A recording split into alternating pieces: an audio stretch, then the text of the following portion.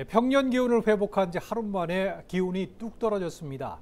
산지를 중심으로 많은 눈이 쌓이면서 일부 산간도로가 통제됐고 시내 도로도 결빙 구간이 생겨나고 있습니다. 기상 상황이 좋지 않은 탓에 제주공항은 또다시 결항과 지연 운항이 속출했습니다. 김경임 기자의 보도입니다.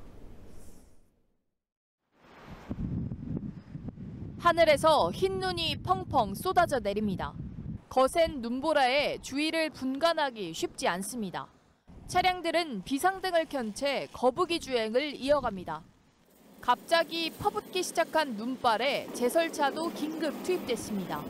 차량이 투입돼 제설 작업을 벌여보지만 도로에는 금세 다시 하얗게 눈이 쌓입니다. 렌트카들 특히나 더 그렇고 한라산은 우습게 생각하고 체인도 안 치고 이제 올라오는 경우가 많아요. 그래서 걸어지고 뭐 해가지고 사고 날 위험도 이제 높고 어저께 이제 일기 예보 보고 이제 아침 새벽에 이제 나와서 이제 작업하고 있습니다. 제주 산지에 대설특보가 내려졌습니다. 산간도로 입구에서는 경찰들이 차량을 세우고 도로 상황을 안내합니다. 미처 월동장구를 챙기지 못한 차량은 경찰의 수신호에 따라 왔던 길로 되돌아갑니다.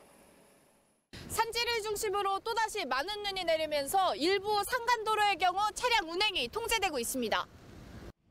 세찬 눈보라를 뚫고 가까스로 산에서 내려온 운전자는 가슴을 쓸어내립니다. 지금 충암여지 이제 산소 갔다 오는 건데 눈이 엄청 쌓여가지고 이런 눈은 좀 처음 보는 것 같아요. 그래서 굉장히 천천히 체인 차고 왔어요. 추운 날씨에 시내 도로도 빙판길로 변했습니다.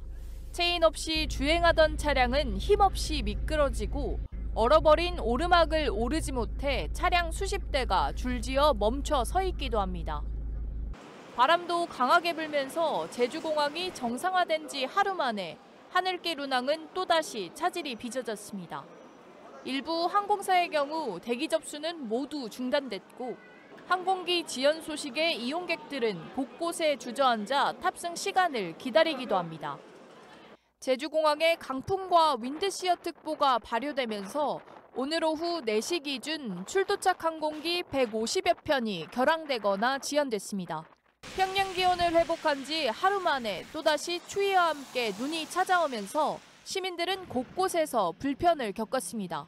KCTV 뉴스 김경임입니다.